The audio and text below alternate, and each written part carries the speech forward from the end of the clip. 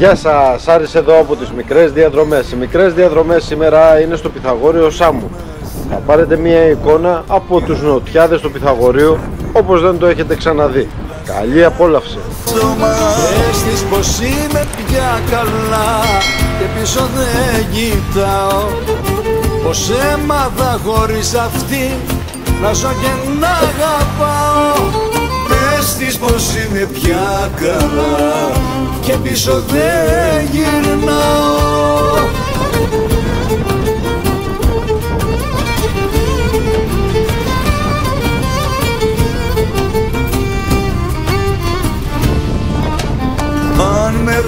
ρωτήσει κάποτε πως ζεις αν είσαι μόνος.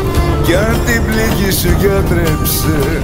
Λευτέρη μου ο χρόνος. Πες της Μανώλη με καλά Και πίσω δεν κοιτάω Πως έμαθα χωρίς αυτή Να ζω και να αγαπάω. Πες της πως είμαι πια καλά Και πίσω δεν Μια όμορφη παρέα ψαράδων απάνω στο νοτιά του Πυθαγορίου ενώ ψήνει κάστανα.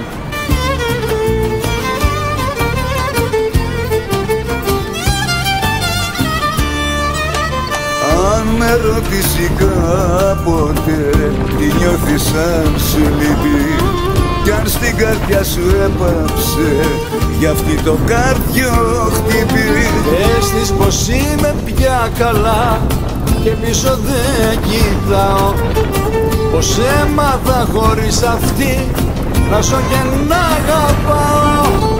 Πες της πως είμαι πια καλά και πίσω δεν γυρνάω